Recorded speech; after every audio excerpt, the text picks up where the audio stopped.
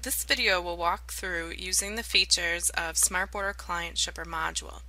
This module allows the broker's customer to view documents, track shipment statuses, and prepare documents to send your customs broker.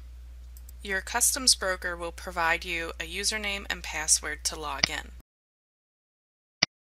After logging in, you'll see a dashboard with your recent transactions and you can open a transaction for details. You can see important information about this transaction such as the release dates or FDA dates. You can view the actual customs messages in real time.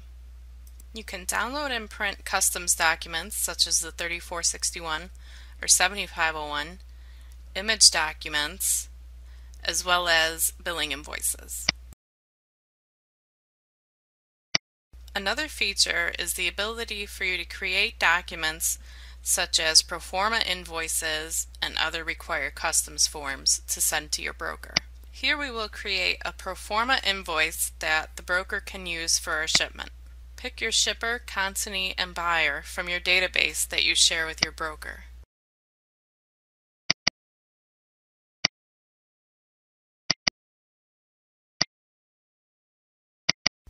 Enter the details for your shipment, such as port and arrival date and time. PICLIST will help you find the correct codes to use.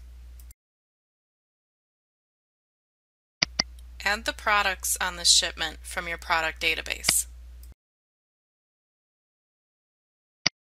Enter the product details such as quantity and weights.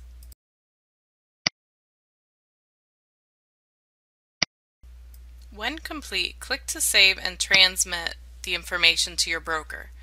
Your broker will then receive an alert that a proforma invoice is ready and they'll be able to download your information into their entry.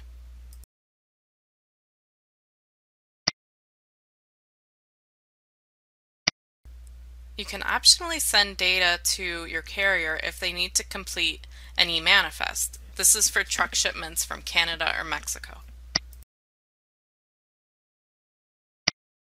You can also print the pro forma invoice. Once you have created a pro forma invoice, you can use it as a template for future shipments.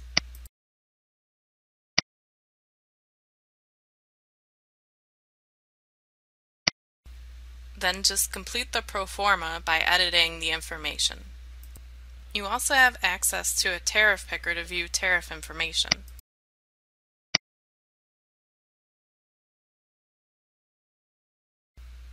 View tariff rates, special programs, and any OGA flags for your products. There is also an ADD CVD viewer. This can help you determine if ADD or CVD might apply to your products. Contact your customs broker for more information and to get signed up to use SmartBorder Shipper and Client.